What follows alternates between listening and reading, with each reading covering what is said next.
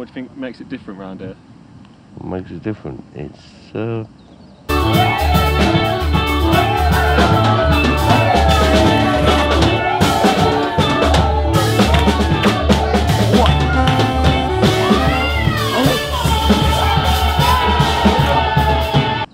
different from what?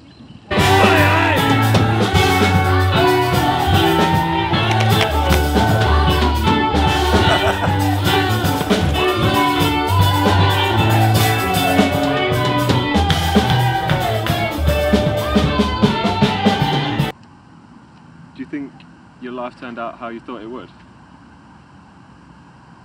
No.